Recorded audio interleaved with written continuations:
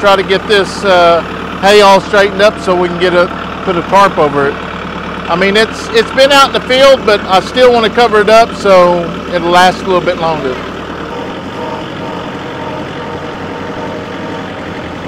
Only fear I have about stacking them up is the kids actually getting on it. We need to, I'll be straight with them.